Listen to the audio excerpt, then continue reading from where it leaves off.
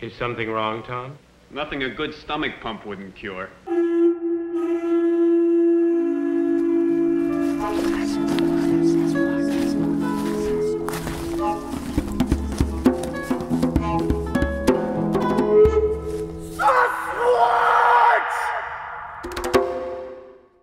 Hi everyone, welcome to SasqWatch. This is season two, episode two.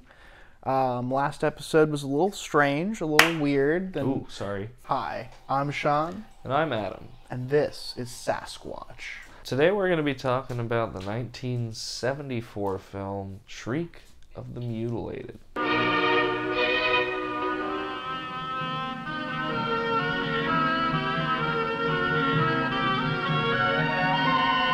Yeah, so last episode was a little strange, uh, a little different from the stuff we normally cover. So we thought we'd get back to our bread and butter here on the show with a, you know, would you call this a horror film? Like a more traditional Yeti film?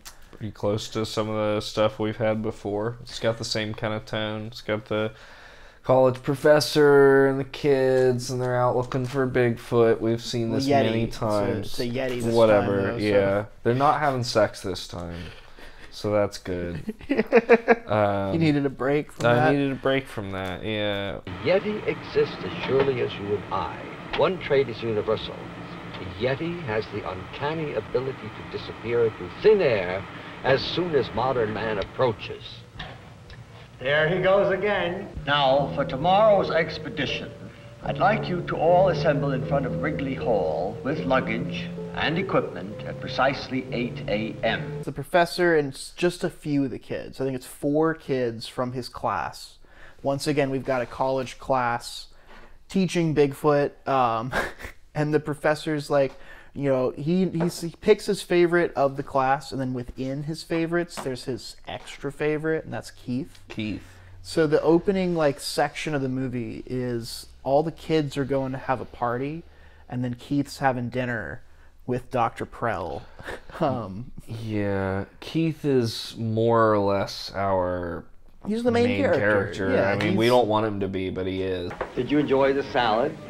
It was fabulous. Yeah, Keith's just like a big bowl of hair the whole time. Like, they say his name a lot. They say Keith a lot. Some of my notes are like, "Oh, Keith" in quotes. Oh, a moment, Keith.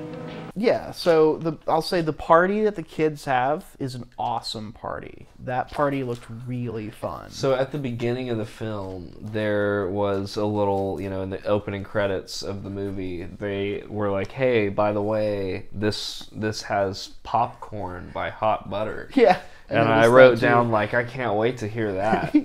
And Yeah, then we got- got to that scene, and I was like, "I've already heard this many times. I bet you know it too." Yeah, You just do. Yeah, I'm sure you do. The I credits don't know were if I fun. can. Are we allowed to like be like, oh, this is what it sounds like? Or yeah, we can play gonna us? popcorn. Anybody want any popcorn? It sounds like a lot of plot before the kids get there, but like those first 10 minutes are wild. You've got the popcorn party, which is actually popping. Yeah. And you really want to go to that party. And then there's Keith having dinner with, first of all, if I go to dinner with a doctor professor and that's the restaurant we go to, where there's like, I swear there was hay on the floor. and they're eating this like supposedly oriental dish that's like shrouded in mystery. What is it anyway? Oh, it's a combination of wild meat. The natives call it gin sung.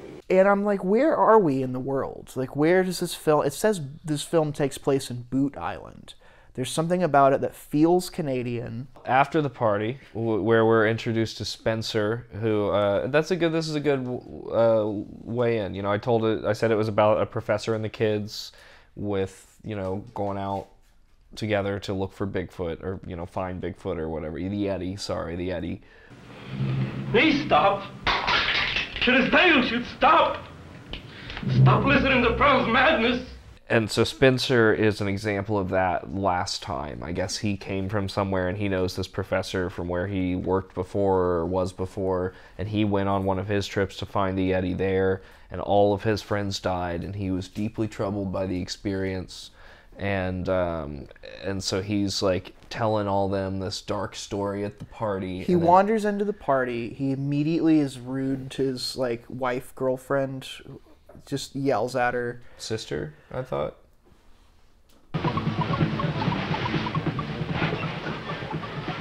Better give me a drink. Start. He just starts. As He's soon as so dramatic. It's hilarious. But you can't hold Dr. Prell responsible.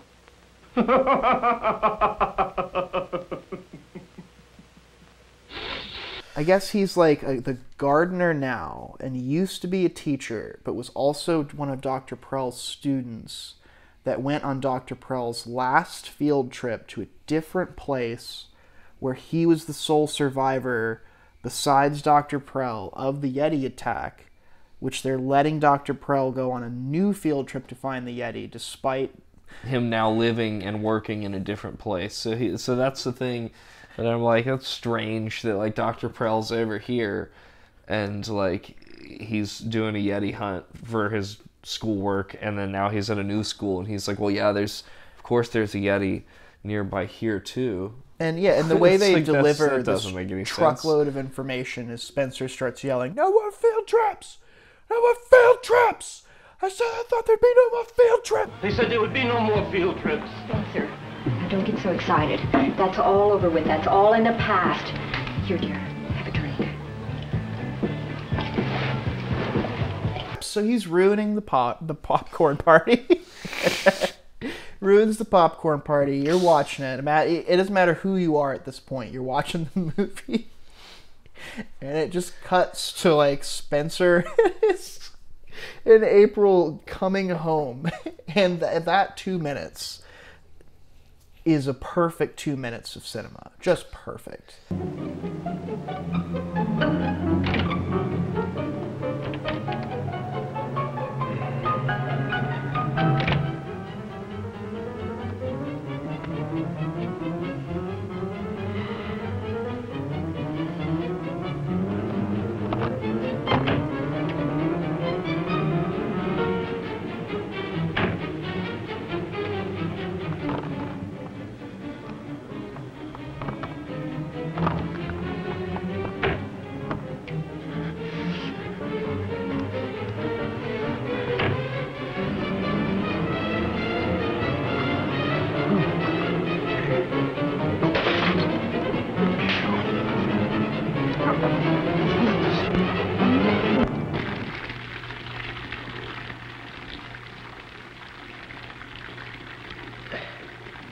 Yeah, and he's just sitting in the bathtub with like a sponge or a brush. I And think it's more like a brush. can. Yeah, and he's just in there in all his clothes, and he's just like wiping his shirt with a brush. And then probably my favorite part of the entire movie. Definitely the best cut part. to low angle, like looking forward at a, the edge of a couch, and then from behind the couch slides a toaster. And then behind it, uh, April, who's like, I just had her throat slit, but is still alive, as she like pushes this toaster that must have a crazy long cord all the way across this living room and into the bathroom without him noticing somehow at all. And then she gets right up next to the bathtub and just She dips sells the that toaster this is her dying breath too. Like Yeah. she definitely just left this the earth as soon as the toaster went Yeah. over the edge. She pushes the toaster in and then like lays over and just dies. We're never never come back to there. It's- We- That doesn't matter for anything else in the story no, at there's all. no investigation or anything like that. I'm so sorry. Sorry? About Spencer. He is a dear friend. I hope he didn't upset you. He does carry on about that episode. I suppose it was dreadful for him. Once you get to Boot Island, things like you meet, you really feel like you meet the kids there. Like you got to see Keith, um, you know, eat out you know, Dr. Prell's butt at dinner with their salads, you know. So the van open, their 70s van, it's got to be Keith's van, um, opens up and you get Karen, Tom, Lynn, and then Keith's the fourth one. Carl, allow me to present my students. This is Karen Hunter, Karen. Lynn Kelly, Lynn. and Tom Nash. Tom. And this young man is Keith Henshaw. Oh, an extreme pleasure. Lynn's got her big glasses. That's kind of it for her, but I like her big glasses. She sleeps in her big glasses, talks in her big glasses, you know. And then she has a couple scenes where she's not wearing glasses though.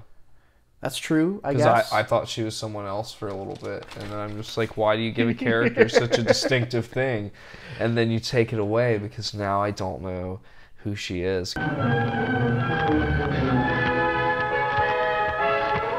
Because I'm just not watching that hard. And she Um, she has a crush on Tom, and Tom just sucks. That's his only character trait. Is Tom sucks. Uh, what's the action like on Boot Island? Beg pardon? Well, I mean, uh, what's the place like? Where do you go at night? Tom is a jokester. He's a joke. Is what I wrote down. I knew I forgot something. Prevents frostbite, my boy. She literally I don't remember goes, any examples of that. Oh, here, Tom. I brought you some some warm. I forget if it's coffee or tea, but he's just like, here you go. I got you something, and he's just like, this sucks. Thanks a lot. yeah. And I'm just like, well, screw this guy. this guy sucks. Like that's all you give me. I hope it's still hot. Oh, this is crap. Keith. Keith is just a little like he's a Oh, little man. teacher's Yeah, pet Keith's Keith. Keith's definitely at the bottom. no, Uh, Karen's at the bottom. Karen's at. The, I I, was gonna hate- put Karen at number two, I and then hate and then uh, Tom, and then Keith at the bottom. Here are my notes for Karen. Karen is mad at Keith for having passionate sex with Dr. Prell last night instead of her. Karen is angry. That doesn't happen in the film. That's that's Sean embellishing upon the relationship between Keith and Dr. Prell. Are you still mad at me? You didn't say two words to me the whole ride up. Now you're doing the same thing here. Look, I told you about last night. I couldn't get away. Well, you could have called. I lost all track of time. Before I knew it, it was midnight. Now, if you excuse me, I'd like to unpack. She is mad at him though. She's literally She sitting there mad. with She her wanted arms. she wanted Keith to come to the party, and she's really mad that Keith didn't come to the party because instead he went to like this exclusive dinner with his like professor instead. And, He and ate a salad and there, He also had soup. He had ginseng. Keith, to success. Yeah. 57 minutes. Now Karen is yelling in the greenhouse.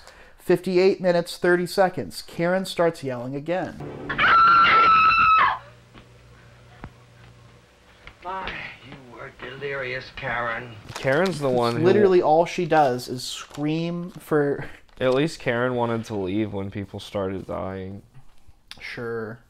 She doesn't leave though. It's literally you walk across a bridge to get off the island and no one can That's true. They don't need to go with her, and she doesn't leave because they outvote her. Give me the keys to the van. I can't do that. The majority rules that we stay here. Keith?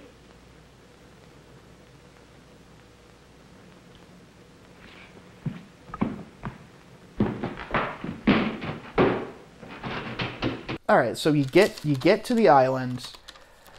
They meet Dr. Carl, who's this guy who lives there. He studies He's flowers. like their local contact, and he's like seen Bigfoot or he's seen the Yeti before.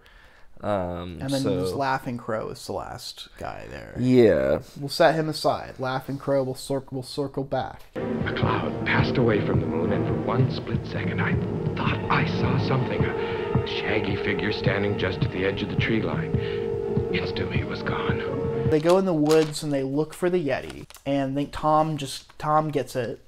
And then they're like, Where's Tom? What's happening with Tom? And eventually they find Tom's leg. And then I think uh, that Lynn gets eaten at the greenhouse. And I was sad. I was like, "Hmm, She's gone. Now I've just got Keith and Karen to hang on to. I guess this proves it's not Tom. Honey! Stop treating acting like one? Dr. Proud brought you on this mission for a reason. And up to now, you've been acting like a, a whimpering, self-pitying little girl. Um, and then there's like a whole section where Dr. Prell's trying to use the dead meat of the kids to like catch the Yeti. At one point, they've got Tom's leg in a trap, and it was really funny because it cuts to like the meat that he's cut off of Tom's leg and it's clearly a steak. There's like the steak bone in it. So their plan is to flash a light at the Yeti, and then Tom's going to shoot it with tranquilizers. Uh, initially, they were going to have Carl take pictures or shoot it with tranquilizers, but Carl says he's all thumbs. Tom was dead by So then. They Carl were doesn't using get a job. Sorry, not Tom. Um, Keith. Keith. I got them confused. teacher's pet Keith got the And uh, tranquilizer gun. yeah, I don't know who did the light. I guess the professor. And then Karen took pictures. Swing that light over there.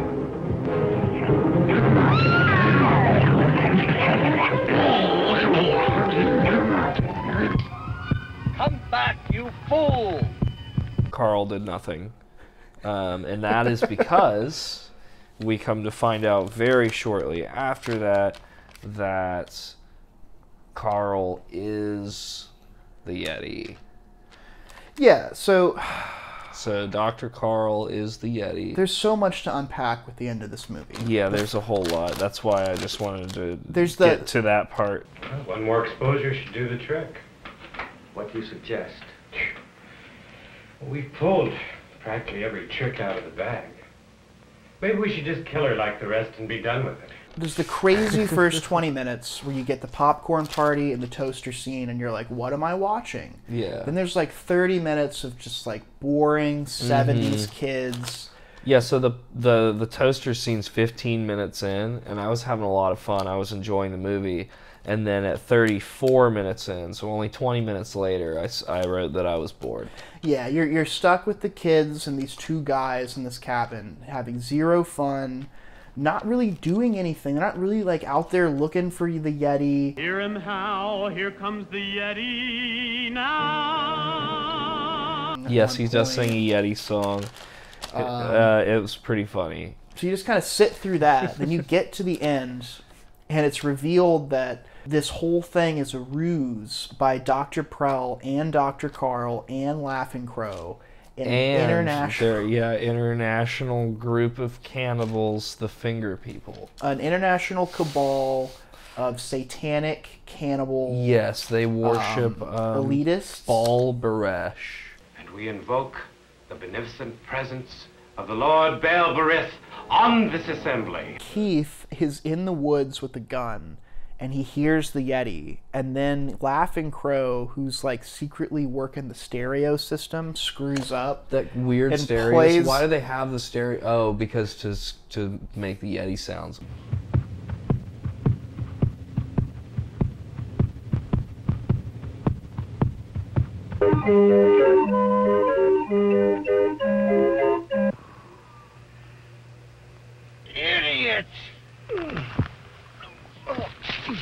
So Laughing Crow screws up the audio, and Keith sees a speaker in the tree.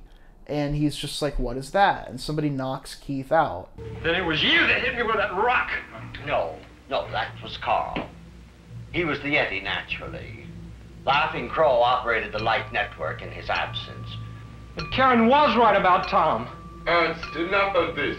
The clock has struck. Let the Saturnalia begin. Uh, Then they like somehow I kind of forget what Karen. so what? So they they keep Karen in the house, and they've got kind of like a Rosemary's Baby situation going on for a minute there, where they're trying to trick her, fool her, and then you end up finding out the reason they're doing this is because they need her to die of fright, because that makes people taste better because these No, you're you're going you're giving them too much credit, man. Because there's the whole scene where Keith bursts in to confront the Yeah. doctors and the cabal of satanic That's- people. that's when- and they literally say like, "Oh, this we're just theatrical people." Keith comes in with this ridiculous white sweater, and he's just like, "I'm putting a stop to this," and I'm just like, Keith and his white sweater are gonna put a stop to this room of strange individuals. I don't know what you're doing or who these people are, but I'm gonna put a stop to it right now. I knew you'd be back. I demand to see Karen. It's so it's it's so weird at the end when they get everyone around the table and it feels it's like 15 minutes but it feels like a, an 11 hour movie about these boring people explaining to each other about how excited they are to do this thing To again to that they've done people. before. You see, Keith, the movement is extremely fond of what you might call theatrics. To kill solely for the purpose of satisfying the appetite would be uh, primitive. And then you find out that it's all it's not the Yeti's just a costume and that it's actually like theatrical international cabal of cannibals and you're just like you're trying to process that and they keep going and keep saying thing after thing that doesn't make sense and they're like we're actually French and they're like we're French satanic cannibals but well, that we're was just reclusive another. now. That was just the the guy from the European chapter. He, But then- that doesn't mean they're all French. It just means You're like- trying to keep Although up, they, they did say they prefer Carnassier. they sit down and they like get out it's not even a phone he like puts a can next to his ear and he's like playing the phonograph or whatever it is and he calls some like someone and it cuts to this like picture on the wall of some old guy and you hear his voice and he's like it's all going well and he's like ooh that sounds good over the over the whatever whatever that was called i'm sure it's a thing that they used to use to call each other Then my choicest blessings on you, your group, and on the Lamb of Antares. Were there any complications? Well, the one selected to carry the uh, Yeti legend back to the people has discovered the truth. But we may succeed here nevertheless. I think they just they just wanted to feel like their plan worked because it was such a bad plan and they put so much thought into so little that they just wanted to feel like it worked because like imagine you're Dr. Carl and you're putting that suit on. How many times are you not scaring someone before finally they don't even they don't even scare her with the Yeti, they scare her with Laughing crow Yeah. they- That's what actually scares her to death. It's because Laughing crow is hiding in the bathroom with the knife. Yeah, so Like the a- end of the like a game movie- of Clue or something. She runs to hide in the closet and she opens this tiny little closet and he's just sitting in there like, "Hey, I've been in here for two hours hoping you'd run into this place." Yeah, she dies of fright. Keith bursts in. Keith and the the thank the evil Thanksgiving dinner scene happens. They wheel out dead Karen, and they're like, "We're we're gonna indoctrinate Keith so that he can go and spread the tale of the Yeti. Because somehow, if we make people think a Yeti killed these kids." No one will start. No one will question Dr. Prell, and I'm just like that doesn't make any. This is the second field trip that this guy's come back with no kids. And you're like, someone's gonna start to suspect Dr. Prell. The Yeti thing does not No, cover yeah. that at all. No, it does. It just adds a totally unnecessary extra step. Time is at hand, Keith. Join us. Or join Karen. And then they're like, and we we know that Keith will go with it because they're like, Keith won't want to tell anyone that he ate people. So he'd rather lie and say that the Yeti killed his friends than let anyone know that he ate some of Tom or Lynn or whatever unknowingly. And it's like, come on, guy. You know, if somebody Yeah. killed Adam and fed him to me under the guise of like, here's some Chinese food, and I ate it, and then they were like, that was Adam, I would still tell his parents. I'd be like, hey, some people killed him and, and fed him to pe- other people. Like they'd want to know, right? I wouldn't. I wouldn't feel guilty at all. So like, I don't. I, I you'd feel a little bit guilty. No, I, I, I ate, you know, someone said, "Here's some, some, you know, Empress chicken," and it was just like, ah, it was Adam. Don't I'd try be and like- ruin my Empress chicken.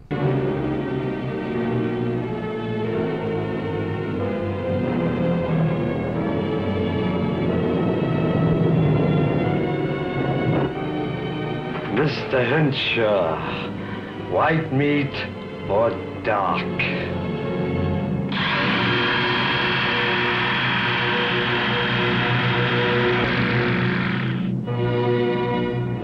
Uh, and that's the end of the movie. Yeah, there it is. Um, so yeah, uh, it's.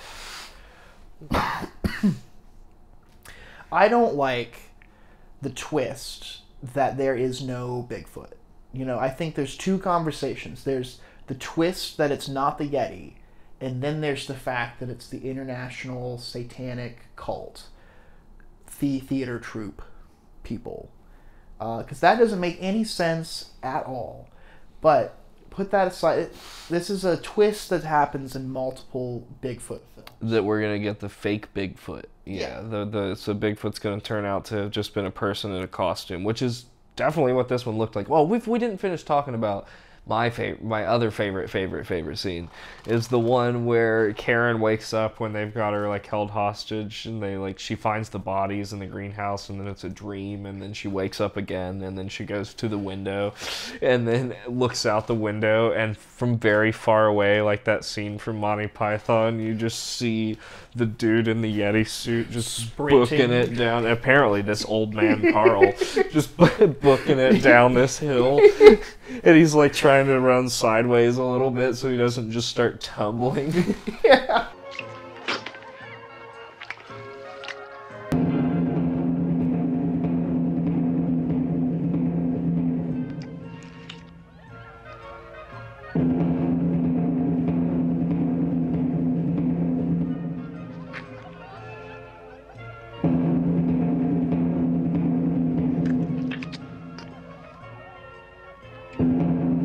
I would say I have never seen the twist where it's like, oh, I'm gonna watch this Bigfoot film. and get to the end and it's like it wasn't really Bigfoot. That does I hate that twist. I've hated it every single time I've encountered it. I don't mind it at all because I don't really care. I I mean, sure. I guess if you are being forced to watch the films, then who cares how it ends? But if you go and you're like, "Oh, I'm gonna spend four ninety nine on this Bigfoot movie," and you go home and you watch it, and at the end of the movie, it's like, haha, is. Not only have I seen this before, but I, there's literally another movie that you put on, and at the end of the movie, it's like it's not Bigfoot, it's cannibals, and I'm like, God, that's not that's does I'm not like ooh cannibals. I'm like, You like cannibals though. I like cannibals when I want to put on a cannibal movie, but like, how is it satisfying to be like, oh, I'm gonna put, we're gonna tell them it's this thing, but it's just not. It's like it's not. It's, there's a difference between like a film subverting your expectations and a film just lying, just being like, yeah, the Yeti's on the cover of the movie. They'll once they bought it, they can't return it. Like we've got their money. I'm certain it was you. No, it was you who first crept up the side of the house, and it was you who frightened her first. I know, but it was you who delivered the coup de grace at the stairs. I'm certain she was still breathing then. Purely residual, Carl. Darling goes to you.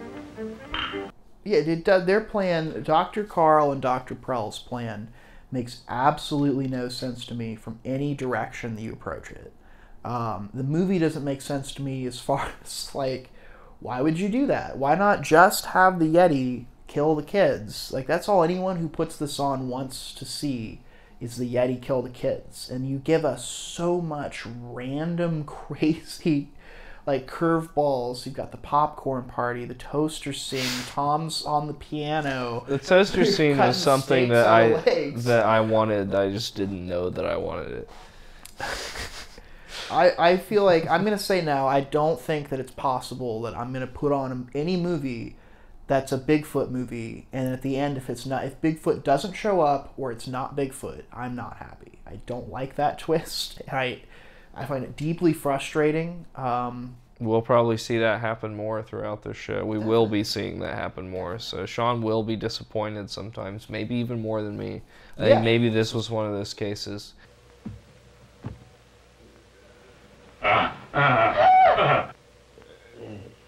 Oh, you must be laughing, Crow. Is it time for dinner? Something about this film that that's a little deeply troubling to both of us, though, is it's pretty racist. Yeah, no, It's I- got some pretty like difficult, like the whole character of Laughing Crow is a difficult character to deal with, and then when the characters at the end show up that are part of the worldwide cannibal cult, they're not much better, even though they're seldom on the screen. But like the the whole, it's it's a troublesome movie in in those ways. But look at him. He's strong as an ox. He works from sunup to sundown, and he obviously never complains. And on top of that, he's the finest native cook I've had the good fortune to find.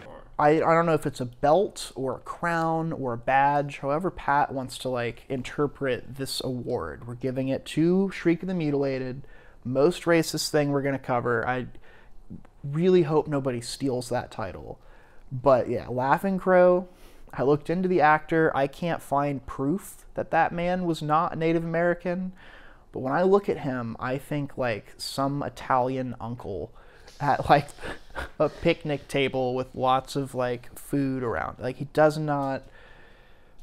Then yeah, there's the casting. There's the fact that he can't talk. So every single scene. Yeah, they talk about him being like dumb and he's like also silent and it's just like yeah, a lot of that is like it hurts. It, every time he's on screen, it hurts, and that would be enough to get the the award. But then at the very end of the movie, on top of the betrayal, on top of the Yeti isn't real, on top of we're an international cabal of French satanic, theatrically oriented foodies. You get what's his name, King. uh, King Ochibamba and some kid from like India. And King Ochibamba, your safari service has furnished us with many victims.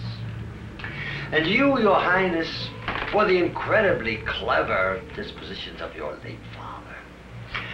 I can't help but feel that he's here with us at this moment.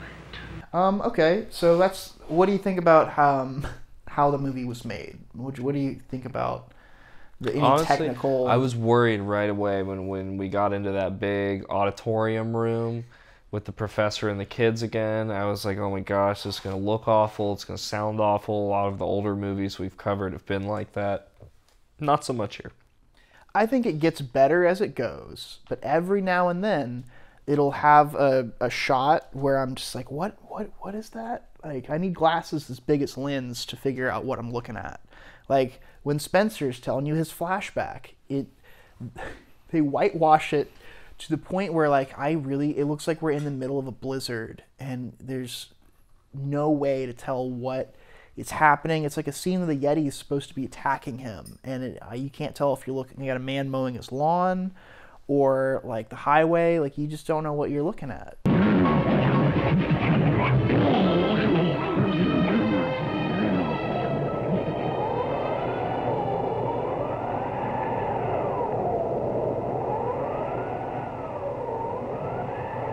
Ouch! In the scene where she goes to look out the window and sees the Yeti running down the hill, she goes to the window, and as she goes, it looks like it's like dark outside. And then she goes to the window and it's like broad daylight. Like it's as opposite as it can look. Um, I did some. I looked into the filmmakers behind it. Um, it was made by uh, Michael Findlay, and it was shot by his wife uh, Roberta Findlay, and they were a team of filmmakers that made a lot of amateur pornography in the '60s and '70s together.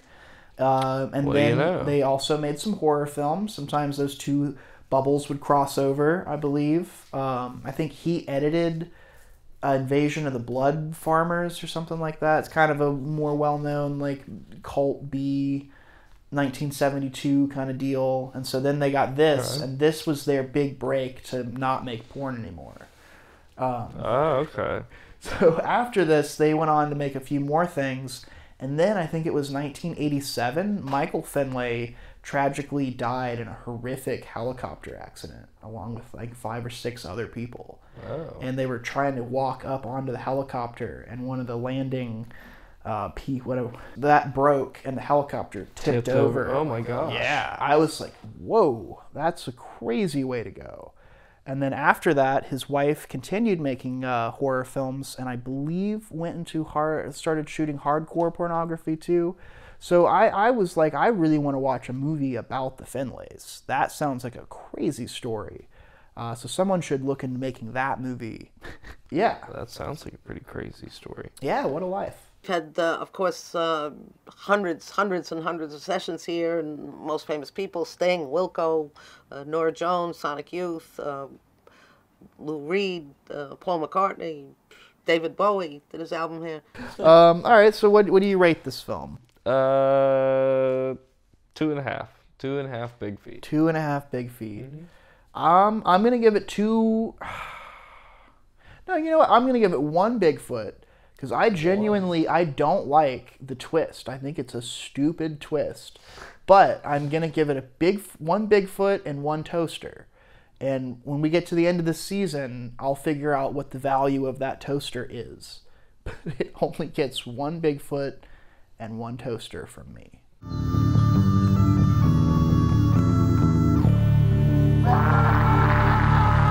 Welcome to the Bigfoot Breakdown. The Bigfoot or Yeti and Shriek of the Mutilated is, in fact, a dude in a suit named Carl. It does beg the questions, though. They say that this Bigfoot uh, is super stinky. Uh, I don't know what he's doing to make the suit super stinky. I guess if he just doesn't wash the suit, it probably smells pretty bad. I mean, Um, they they say they say uh, bullets, your bullets won't work. Uh, oh, that's because they were blanks, so it's not bulletproof. Put him on!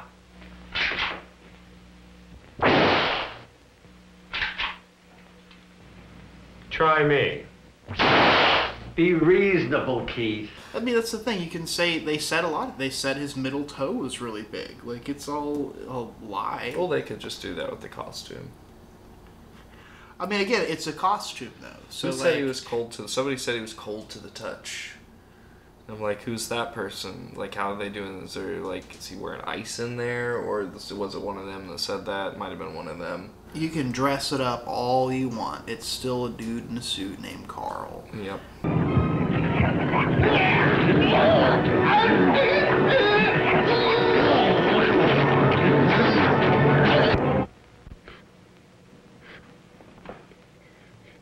Coming back.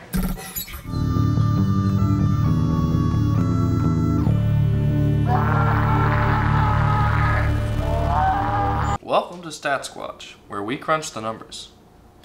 So in this film, we had five deaths. Four of them were human on human violence, and one of them was scared to death. There was one Yeti, although really there was zero Yetis.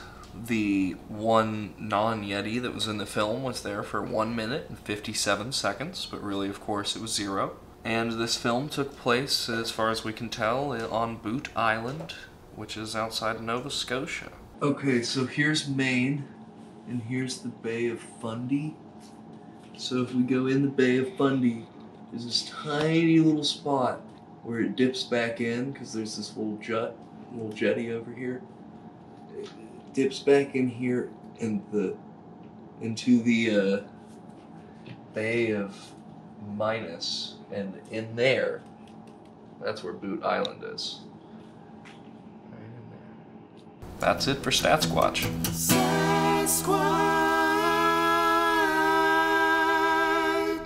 On the next episode of SasqWatch, we are going to be venturing into a new genre for us. Oh yeah. Yeah, we're not going to be covering horror or pornography. There's a whole other world of movies.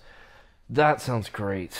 That that honestly sounds great. Yeah, no, we're going to be getting into Okay, something what what family films. Okay. They Are, are we gonna films. we Bigfoot- finally doing Harry? Harry and the Hendersons? You would think that we would have covered Harry and the Hendersons by now. I feel like it's the big it's like probably like I think we said it before. I think it's like the most successful probably Bigfoot movie. most ever. well-known, beloved film to ever feature the big man. No, we're going to be covering Cry Wilderness. Your father is in great danger, Paul.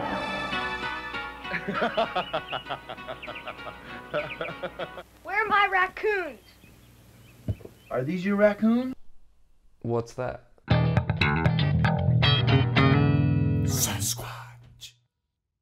Did they decide to have the popcorn machine and like make that scene and then get the song, or were you there like we like this song, we want it in our movie? Which probably the case because the song by Hot Butter came out in 1972, so only two years before this it was a big hit.